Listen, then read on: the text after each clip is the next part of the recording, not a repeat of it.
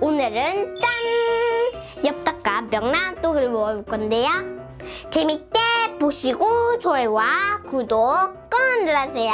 그러면 먹으러 쑥! 잘 먹겠습니다. 일단은 엄청 맛있는 핫도그부터 먹어볼게요. 이거는 이 소스에 찍어 먹어야 돼요. 응? 아 다시 해야 돼.